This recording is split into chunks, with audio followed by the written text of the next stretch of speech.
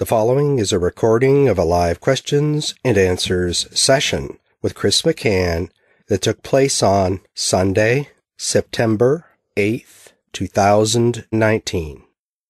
Good afternoon, everyone, and welcome to eBible Fellowship Sunday question and answer program. During this time, we're going to open up the phone lines to take your call, and each person is invited to call and share what's ever on your mind by dialing the number that was just mentioned. And I'll try to respond as much as possible by turning to the Bible, which is God's holy word. And there we find answers to our questions according to the perfect will of God. Okay, we're going to get started and begin by going to the first person on the phone today. Welcome to our program. Please go ahead with your call. Yes, hi. The resurrection of the dead, the just and the unjust. Now, the unsaved, obviously, they're not going to enter into heaven. Are they going to have eyes be opened and conscious existence to stand and be arraigned like a, like in a real court, or, or it'll just be a spiritual thing where the graves will be tossed open and the, their bones will be displayed as an open shame? Yeah, well, no, they they're not going to have conscious existence as far as those that have already physically died. That's not possible because when they died, they died. You, you know, when when we think about the historical or traditional understanding of the resurrection of the dead, it really is strange. It really is strange to think that God will reanimate, give life to those that have died and bring back their body. And the idea was whether, you know, they died in the ocean, in a shipping accident, and were eaten by fish, that, that God's going to reform the body, reform a breath of life. Right? That's what we mean by conscious existence. That God would somehow breathe life back into them again. What for?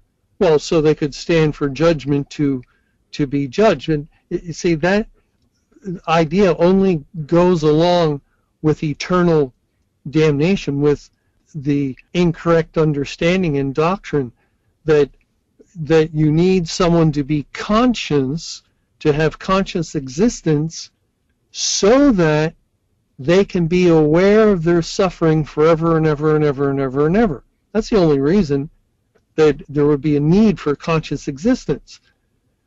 And God corrected us concerning the understanding of hell, and He's corrected us concerning the understanding of His judgment in many ways. And what's going to happen, and we do read in John chapter 5, it says in verse 28, Marvel not at this, for the hour is coming in the which all that are in the grave shall hear his voice, and shall come forth, they that have done good unto the resurrection of life, and they that have done evil unto the resurrection of damnation. The word resurrection simply means to rise. And so the elect who have physically died will be resurrected as their body is translated and changed into a spiritual body, they'll rise up to be with the Lord. The, and, and that's the resurrection of the just. Those that have died, you, they, you see, they're already dead in soul. Then when they died in body, they lost the breath of life, and that's why the Bible says they die like beasts. Just like the dogs and cats and birds and fish or all creatures that had the breath of life. God gave a spirit in a sense that was not a soul as in the soul that that died that man had, but but just to make the body live, there there was this this mind and and essence of a person, and that in the day they died is gone. It's gone it, it ceases to exist, and, and so on the last day, their physical remains will be brought up out of the ground, and and God will uh, I don't know what he's going to do for, he'll raise up ashes, he'll raise their dead bones. He's not going to reform them into the body. It, it's just that what's ever left of them will come up out of the ground. But that's the understanding that fits and harmonizes with everything else the Bible says. Thank you for calling and sharing. And let's go to the next person on the phone today. Welcome to our program. Please go ahead with your call. Yeah, Chris. Uh, good study this morning. Really on time. Uh, looking for Christ, being patient. In Revelation chapter 15, verse 3, could you read that, please? Revelation 15:3 And they sing the song of Moses the servant of God and the song of the lamb saying great and marvelous are thy works Lord God almighty. Just and true are thy ways thou king of saints Okay, now this is during our time right now, is that not true? And how uh, do the two songs, the song of Moses and the song of the Lamb, uh, fit together? They're both saying the same thing. And and what is that? Could you explain Yeah. this verse, please? Go ahead. Yeah, that's a good question. And um, when we we look at what the Bible says uh, about the Song of Moses, uh, for example, I think it's in Deuteronomy 31. It says in um, verse 19, Now therefore write ye this song for you, and teach it the children of Israel, put it in their mouths, that this song may be a witness for me against the children of Israel. For when I shall have brought them into the land which I swear unto their fathers, that floweth with milk and honey, and, and, and so forth. And then verse 22 Moses therefore wrote this song the same day and taught it the children of Israel. And he gave Joshua the son of Nun a charge and said, Be strong and of good courage, for thou shalt bring the children of Israel into the land which I swear unto them, and I will be with thee. And the song, uh, I'm I'm not doing a good job. I'm looking for a particular verse that mentions that really the Song of Moses focuses on the judgment of the house of God or or uh, on the people Israel, which would in turn point to the the judgment on the corporate church. And I think the song, uh, yeah, in verse 30 of Deuteronomy 31, and Moses spake in the ears of all the congregation of Israel the words of this song until they were ended. And then it goes into uh, the next chapter, and it has to do with with uh, the judgment on his own people, and and so the the understanding of the song of Moses as song in the Bible uh, as well as music identifies with the Word of God, and it is the the teaching of the Bible and the gospel.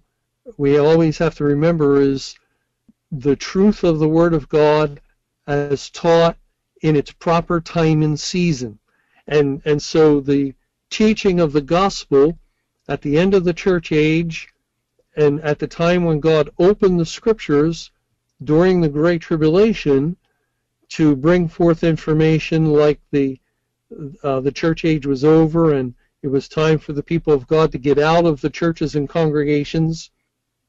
That's the Song of Moses. The focus is on the judgment of uh, the churches and congregations. And uh, here, though, it says they sing the song of Moses, the servant of God, and the song of the Lamb. And the song of the Lamb is the song of the people of God, which again is their declaration, the things they they declare or share as God opens their eyes to truth in the day of judgment. It's interesting how often in the book of Revelation where Christ is seen as the judge that he's called the lamb. For example, in in Revelation chapter 6 in verse 17 for the great day of his wrath has come well I'm sorry verse 16 into 17 says, And said to the mountains and rocks, Fall on us and hide us from the face of him that sitteth on the throne and from the wrath of the Lamb. For the great day of his wrath is come, and who shall be able to stand? There's other references to Judgment Day where the Lord Jesus is described as a lamb as he brings the wrath. And that's the idea here that they sing the song of Moses, the servant of God, and the song of the Lamb, saying, Great and marvelous are thy works, Lord God Almighty, just and true are thy ways, thou King of saints. In other words, as we teach today that the church age is over, God's judgment is upon them, and that the door is shut and God's judgment is on the world, we're singing the song of Moses on the one hand and the song of the Lamb on the other. Each song is pointing to the particular focus of the judgment of God in his end time judgment program. And then it goes on to say here in verse 5 in Revelation 15, And after that I looked, and behold, the temple of the tabernacle of the testimony in heaven was open, and the seven angels, uh, or the seven messengers, came out of the temple having the seven plagues clothed in pure and white linen, and having their breasts girded with golden girdles. And um, this uh, absolutely confirms the seven angels are God's elect. They're the saints. Because angelic beings, spirit beings, uh, who did not fall, that's how they remained in heaven. Uh, Satan and his his forces fell into sin, but those that remain did not fall and therefore had no need of a covering over sin. But these angels are said to be clothed in pure and white linen. Well, read Revelation 19:8, and it says the fine linen is the righteousness of saints. It's the covering Christ gives his people. So there there is zero question about the identity of the seven angels here.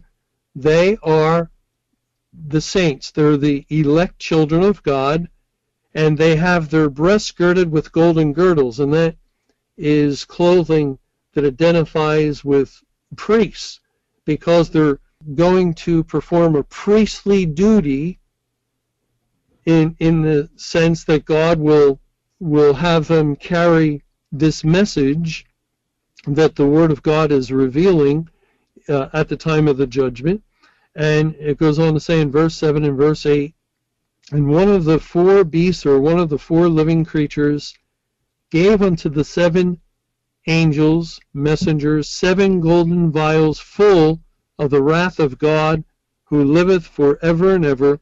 And the temple was filled with smoke from the glory of God and from his power, and no man was able to enter into the temple till the seven plagues of the seven angels were fulfilled. And then chapter 16 describes the pouring out of these seven vials full of the seven last plagues, which each of the angels is pouring out. The angels who are clothed with pure and, and, uh, fine white linen, who are the saints. And that's what the people of God are doing at this time as we share the information we're finding on the pages of the Bible. We're pouring out the vials of the last plagues of God, uh, which in turn would identify with the Song of the Lamb. But thank you for calling and bringing up that verse. And now let's go to the next person on the phone. Welcome to our question and answer program. Please go ahead with your call. Uh, yes, concerning um, the Americans, uh, you know, mostly um, have their wedding day planned on um, Saturdays. Uh, a friend, uh, his opinion was um, because, like Americans, you know, a, a lot of Americans are very uh, work oriented. They take pride in their work and they wanted to uh, celebrate a wedding on Saturday and rest on Sunday, so they'll be re- well rested for the work in Monday. I just heard you um, mentioned a few minutes ago about maybe from one of your tapes that uh, you were saying uh, people used to uh, have their weddings on Saturdays, but I'm from overseas and they have always had it on Sundays, but in the latter generations, they started doing their weddings on Saturdays, and I thought that might be from the American influence. And um, there was a message from China questioning about uh, marrying on Sundays that a lot of Chinese they married on Sundays. But uh, that's my friend's opinion because. Well, uh, let, let me just interrupt for a second. Um, I, I wouldn't say it's an American influence because the tradition in America is was really a tradition in the West, as far as I know, and it came from the understanding of those who believe the Bible that Sunday was the Lord's day. Sunday was a day to, you know, during the church age, go to church and to focus on God, to focus on the Word of God, on spiritual things, and and it just simply was not the day for weddings or or uh, for other activities. It, it it was a day for God, and now that is being lost at the time of the end, uh, as as the world, uh, you know, Sunday's like any other day, and and so since it's like any other day, they they've already trampled it underfoot with uh, you know everything under the sun, from this sport to that sport to the other sport to uh, to holidays and and and uh, everything else, and and so yeah, why not why not weddings? Why not uh, whatever? And and so that's the mindset today. There there really is little to no thought given by people that it is the Lord's day, that it is a day God has set apart for worship. And if uh, other nations haven't realized that, well, probably it would have to do with maybe a lack of influence of Christianity to some degree in other parts of the world.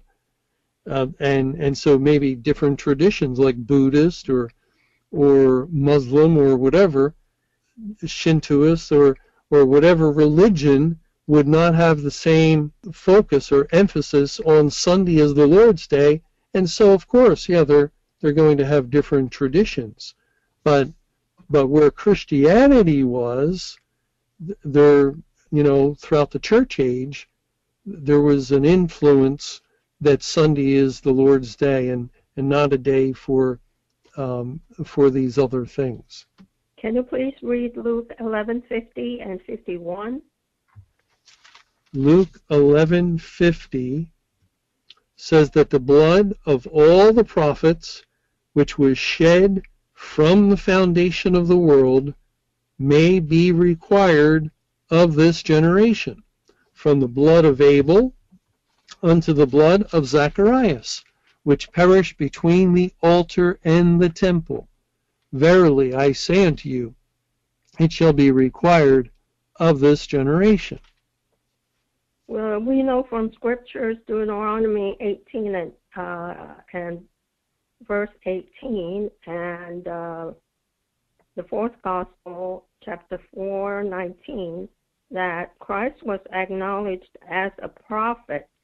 Now, we know that people stumble on Christ, the stumbling block. But John the Baptist and King David knew in their heart that Christ literally preceded them, and Christ said, Before Abraham was, I am. So also in this case, Luke 21, 50 and 51, people tripped. My question is, since Abel to Zacharias were all Old Testament or prop, uh, saints or prophets that typified Christ, whose blood was shed. Um, did Christ uh, preclude himself as one of the Old Testament prophets that were slain since the foundation of the world? Did he preclude himself as one of the Old Testament saints? Well, this is actually a, another verse, it's a, another proof text that is confirming that Jesus died and gave his life at the foundation of the world. You you do not shed blood in well it, it says the blood of all the prophets which was shed from the foundation of the world. Okay, now let's ask the question. Did Abel literally shed his blood at the foundation of the world? And the answer is no. Did Zacharias shed any blood at the foundation of the world in a physical sense? And the answer is no. So we have to understand it spiritually, and so we have to look at what words mean. And, and so when we look up blood in the Bible, what does it point to? Leviticus 17. The life is in the blood. The life is in the blood. The blood of all the prophets. Who is the blood of all God's elect? And the reference to Abel to Zacharias, conveniently A to Z uh, for us English speakers, is actually a reference from beginning to end uh, because Abel was the first recorded man we find that was truly saved in history. And Zacharias, well, he wasn't the last, but but the significant thing about him was when he died, the Bible tells us he was 130. He was 130, which is 10 times 13. 10, completeness, 13, end of the world.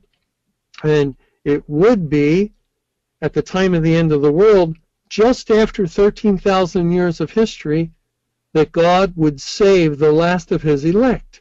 So the figure is because God wrote the Bible in the first century, he couldn't say from Abel to, um, you know, Carl Smith or Carl Jones, that, that last elect whose name was recorded in the Lamb's Book of Life, who was saved on May 20th, 2011, God couldn't have done that because he was compiling the Bible in the first century.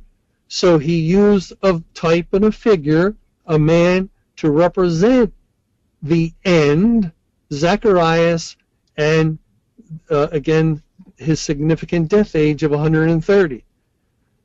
Therefore, God is speaking of the blood of all the elect, of all the prophets, as all the elect are spiritually prophets, priests, and kings, and all the blood of all the elect was shed from the foundation of the world. Now, of course, that immediately draws our attention to Revelation 13:8, the lamb slain from the foundation of the world.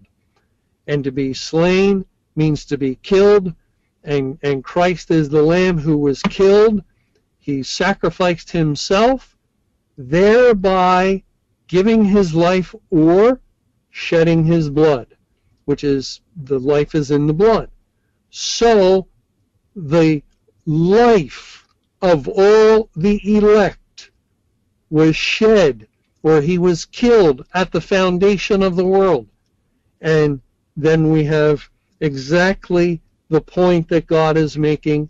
It fits in with Hebrews 9, uh, 26. It fits in with Revelation 13:8 and many other verses that uh, the the elect had their blood shed in the person of the Lord Jesus Christ as we were all in him as he bore our sins and died on our behalf and so God likened the fact that he gave his life as though it, it was ours and and it was applied to us. And and that's um, the the wonderful message that's being taught in these verses. But thank you for calling and bringing up these scriptures. And let's go to the next person on the phone today. Welcome to our program. Please go ahead with your call. Hi, Chris. In 1 Corinthians 6 1 and 6 2, dare any of you having a matter against another to go to law before the unjust and not before the saints? Do you not know that the saints shall judge the world? And if the world shall be judged by you, are you unworthy to judge the smallest matters? Uh, there's two points I, I want to make. I think God is telling his elect saints, how dare any of you go to the court of law before this unjust world to sue one another? That's like for the world. That's not for the elect. That's and point number two, the elect saints are judging the world now as they proclaim the truth about May 21, 2011 being Spiritual Judgment Day, at the door to salvation shut. This is judgment to this unsaved world who wants to believe we're still in uh, the day of salvation. And I'll take your response, Chris. Well, yeah, we, we do have to take into account that this is the epistle to the Corinthians, and and there was a corporate church uh, that was that was uh, at that time established, and and it was the beginning of the church age, and and so really Paul's point is you have a dispute, you have a matter against another, and you go to law before the unjust so they take it to the secular authorities and not before the saints, rather than taking it to the church authorities who would settle the matter. So, so there is a historical element to what's being said here that would have some application to church authority.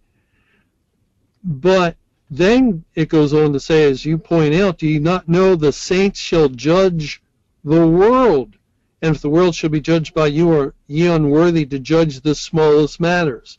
So God is saying, look, you you want to uh, turn this over and and have the secular judge and and uh, he could be an unjust judge to judge this matter, and yet you and and the saints of God if of course this would only apply to those that are truly elect, but they were professing to be. So you are going to judge the whole world. And in the world, you'll judge all worldly authority, all worldly institutions.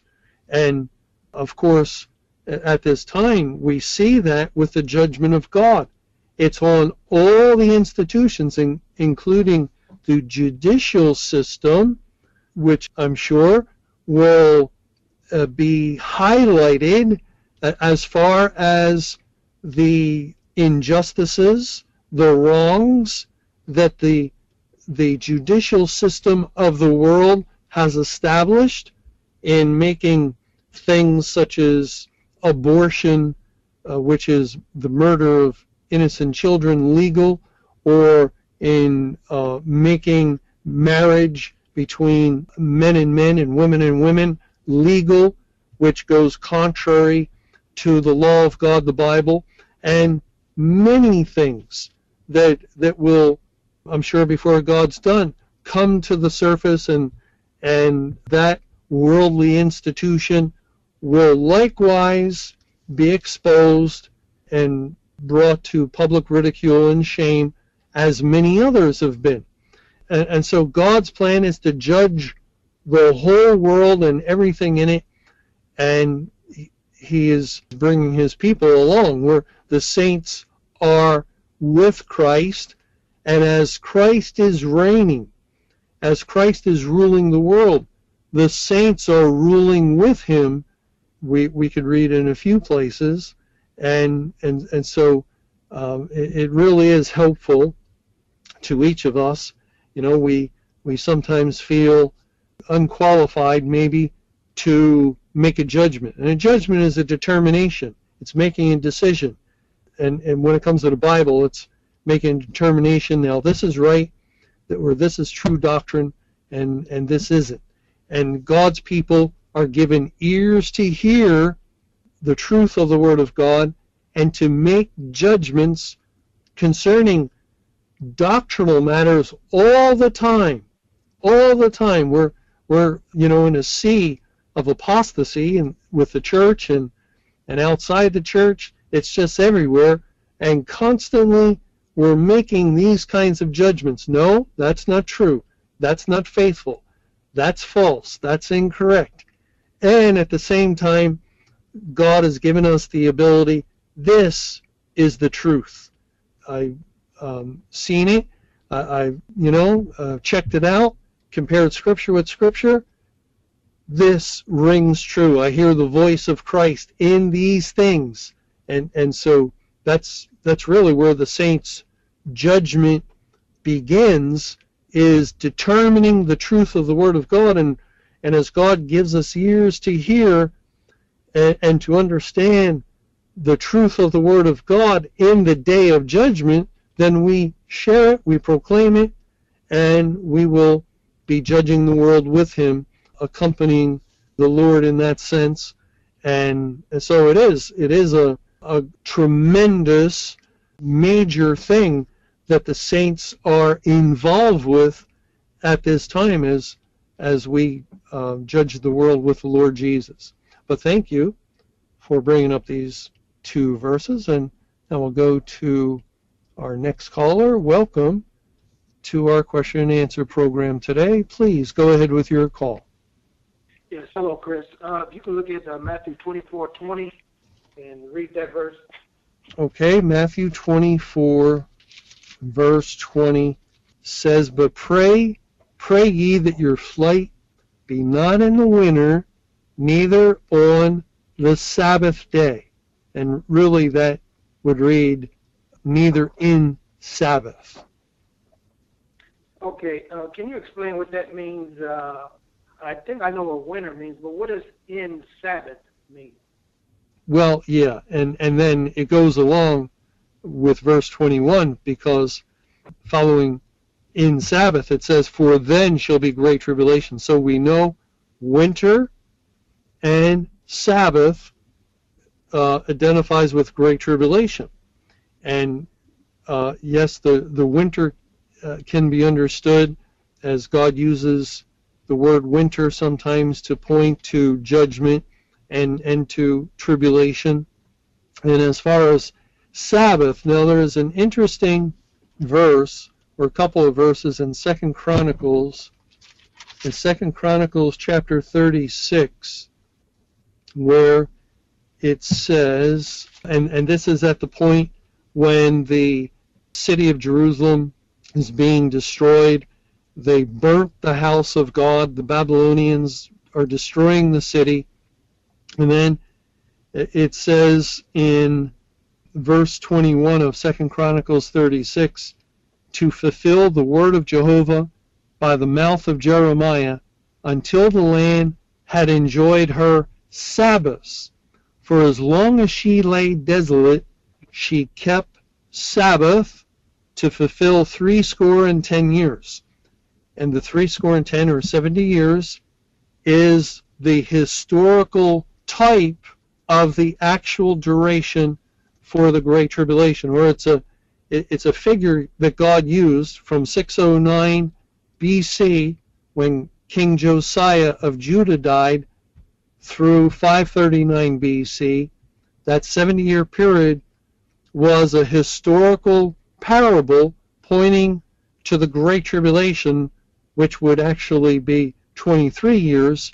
But, but the important thing is as far as your question, as long as she lay desolate, Judah, Jerusalem, the house of God, she kept Sabbath to fulfill 70 years. So that's telling us that the entire 70 years was fulfilling of Sabbath rest. uh, because, well, Judah of old had desecrated the Sabbath as far as uh, what it was teaching, and so God brought judgment upon them to spiritually observe Sabbath. And and so in Matthew 24 we read reference to this in verse 20, pray ye your flight be not in the winter, neither in Sabbath. That is, pray that your flight be not in the time of great tribulation. And uh, it's a whole other question about the flight. I think a good picture of that would be in Acts 27 with the ship that is uh, soon to be shipwrecked, and uh, that's a, also a picture of the destruction of the church. And remember, the mariners wanted to flee. They they wanted to to leave the prisoners and and flee and on their lifeboats and get away. And and Paul told them not to do it, not to do it. They were not to flee. And we wonder why. Because eventually God destroyed the ship and and forced them to flee. Well, that that's the point. Uh, that it, has to do with God's timing. That everything is done in its proper time and season. And, and, and so not until God opens the Word to reveal the truth that the, the church age is over and then issues forth the command to his people come out of her or, or depart out of the midst, which would be flee, then that's when it becomes a faithful thing to obey and to do. But until that point, no, it was God's purpose to leave his people within the churches and congregations. But thank you for your question. And we're going to continue now with our question and answer program by going to our next caller. Welcome to our Sunday program. Please go ahead with your call. Mr. McCann, can you read Romans 3, uh, verse 21 and 22?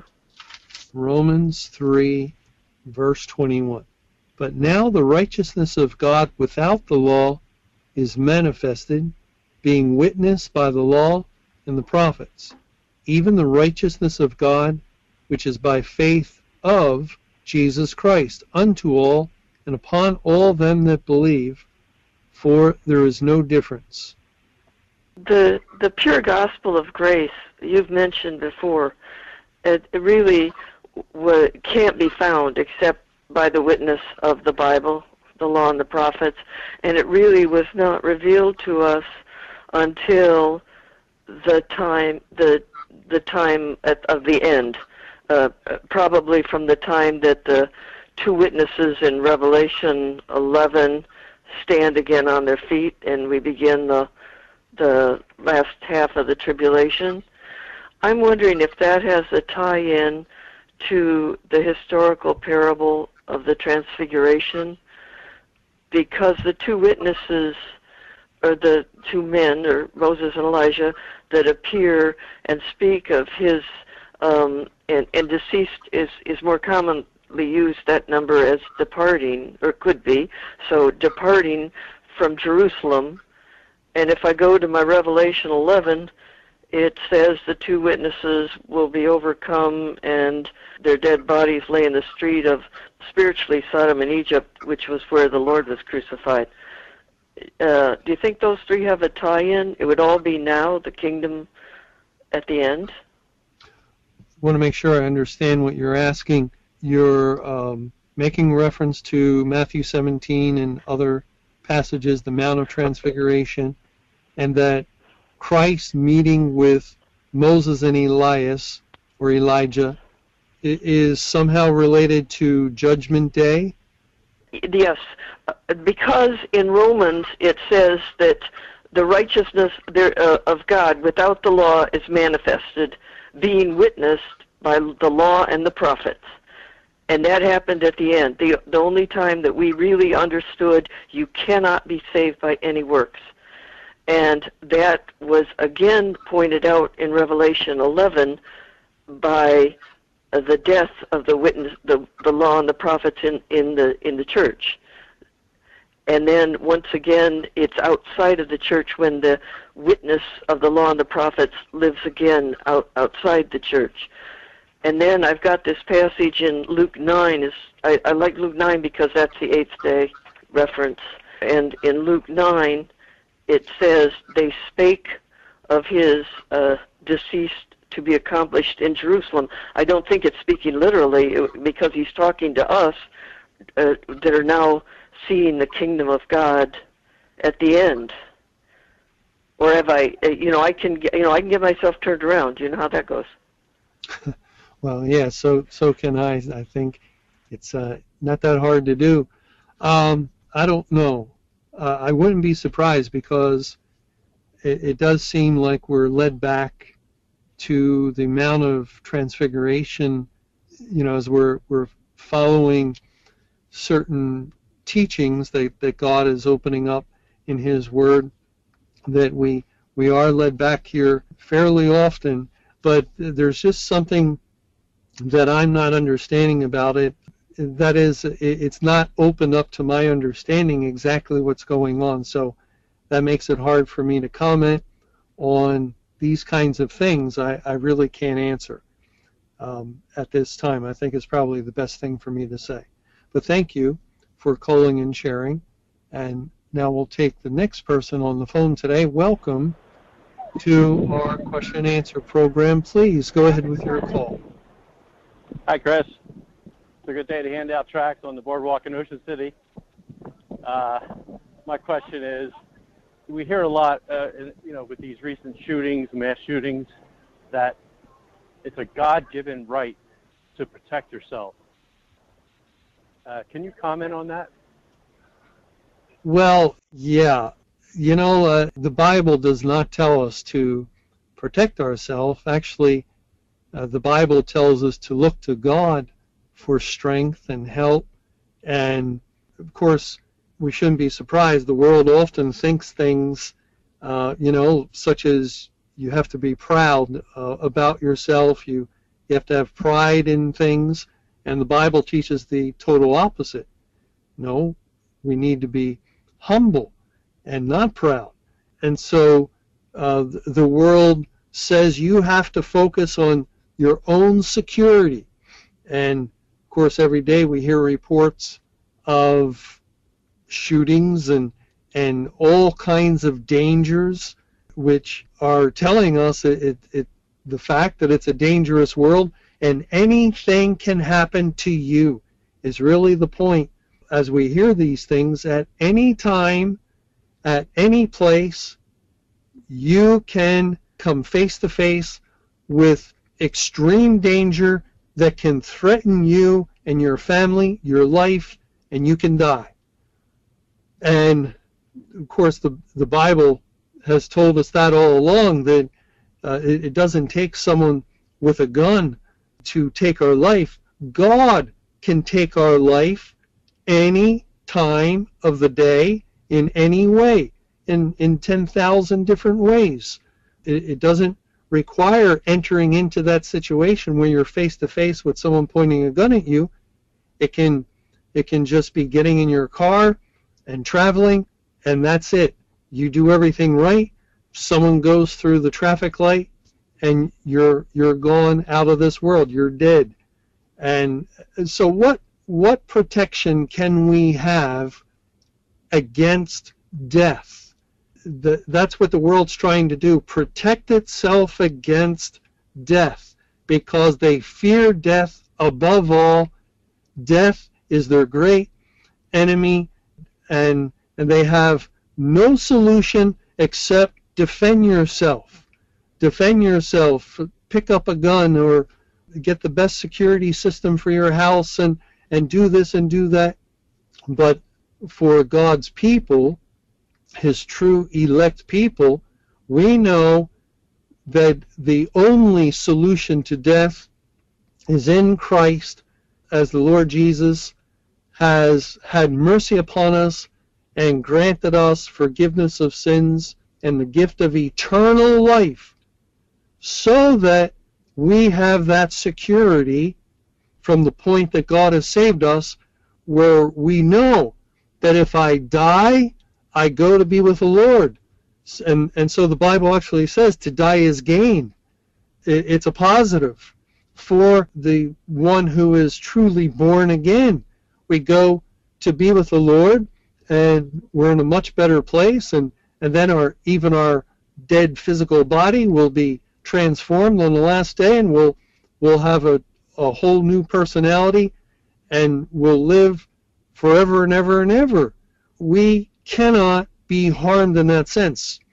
So when we hear about dangers in the world, it's a different matter, and we should not be influenced by worldly people and their fears because it's not the same thing when it comes to us. And, and so we can live in a dangerous neighborhood um, by the world standards, and we can live comfortably, safely, because we know our lives are in God's hands.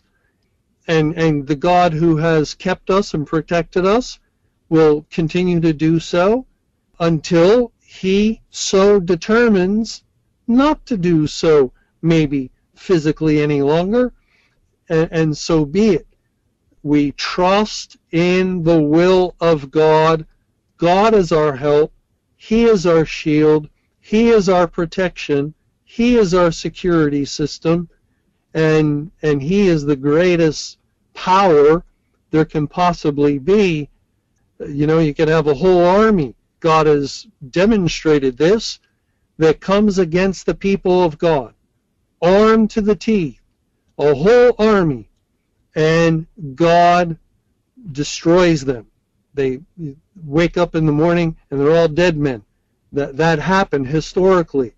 And and so if God can destroy a whole army of armed forces that come against his people, he can he can watch out for us uh, concerning the the thief and the robber or the the um, uh, you know the uh, insane man with a weapon. He'll he'll do what he'll do, and we trust in the Lord. We trust that He will protect us and accomplish His will. And so, no, the Bible actually says that um, the one who lives by the sword dies by the sword. That's that that's a reference that I've always remembered that scared me uh, as far as the idea of having a weapon in my house. Um, no thanks, no thanks, and and we often hear of tragedies because a little child got a hold of a gun or or something like that, and and and something bad has happened. So I, I prefer to just leave all that in God's hands and and, I don't want to get into any kind of political discussion over gun rights or any of that. Uh, I'm I'm not taking sides. I'm only saying what the Bible says. He who lives by the sword dies by the sword, and we trust God for our security. He is he is our security and, and no weapon. Uh, but thank you for calling and sharing. And now we'll take our next caller. Welcome to our Sunday question and answer program. Please go ahead with your call. Yes, recently you redid like Corinthians chapter 5. And um, what I noticed is that um, you might be on the right track concerning this because I noticed from the book of Acts to Revelation that the apostles are judgmental. And in other words, like the, the man in Corinthians 5 was judged by Paul. Um, there's another place, the book of Acts, chapter 5, where Peter and John, they, ju- they judged uh, Ananias and Sapphira. And in the letter of Timothy, uh, Timothy or Paul judges the women, saying, "I don't, I don't let a woman teach or usurp authority."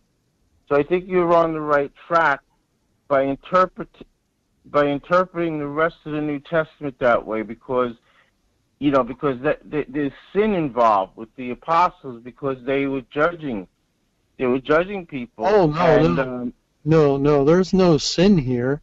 There's no sin here. Now, in 1 Corinthians five, with the other thing you you mentioned, um, Ananias and Sapphira, that that was God.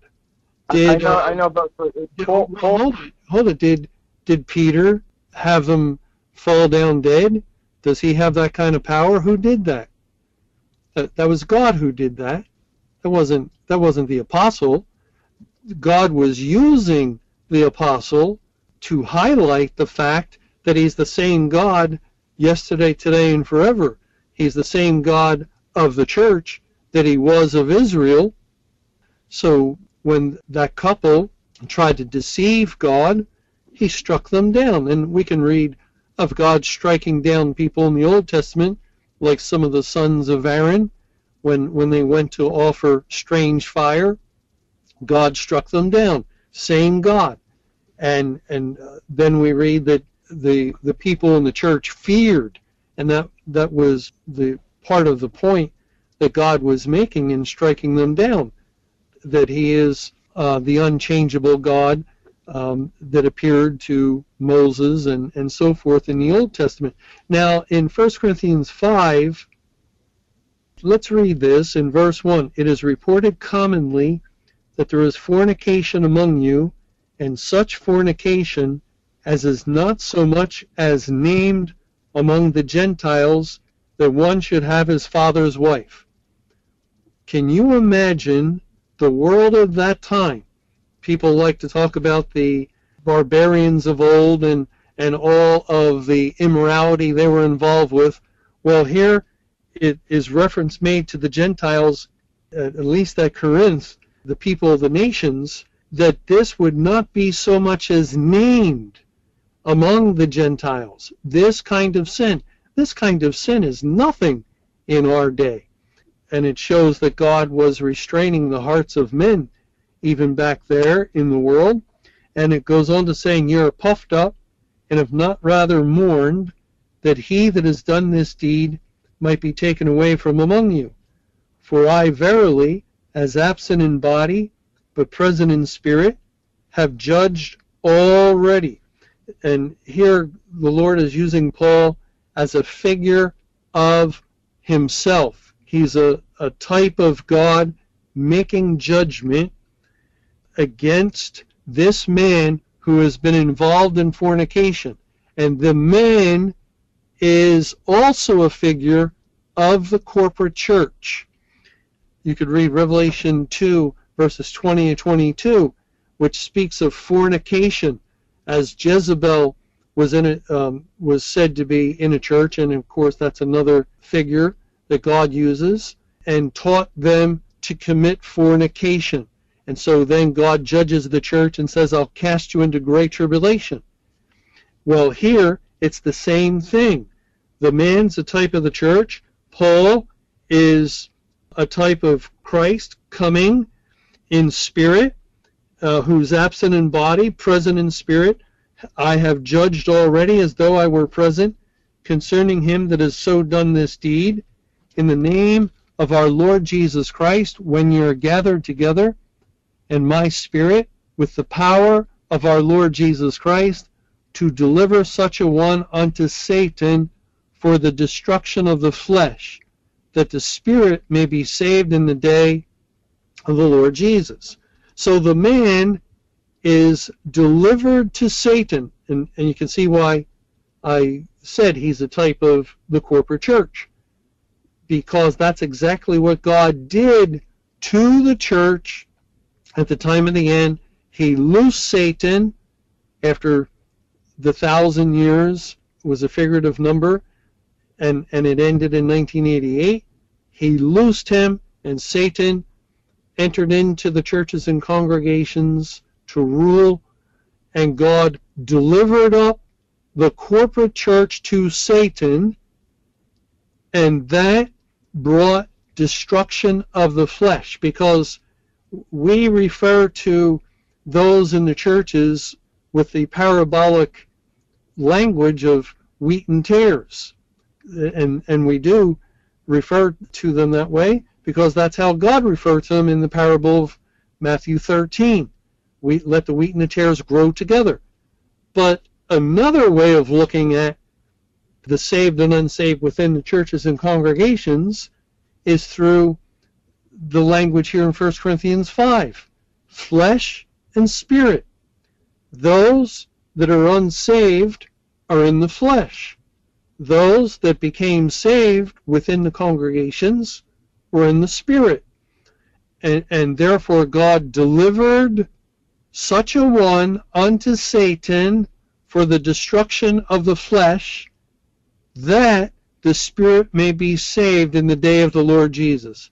In other words, God delivered up the corporate church to Satan for judgment and its destruction, destroying the tares, destroying all the carnal minded ones, the, the ones in the flesh, in order to save the elect, those in the spirit. And it was at that time that he commanded his people come out. And so the the ones in the spirit left the churches and congregations only because God had delivered it up if God didn't deliver up the flesh, they would have remained and suffered a similar fate. But since God did deliver them up and made it known, then he made the way for them to come out of the churches and congregations. And that happened in the day of the Lord Jesus as judgment began at the house of God. But thank you for calling and sharing, and now we'll go to our next caller today. Welcome to our Sunday question and answer program. Please go ahead with your call. Hi, Chris.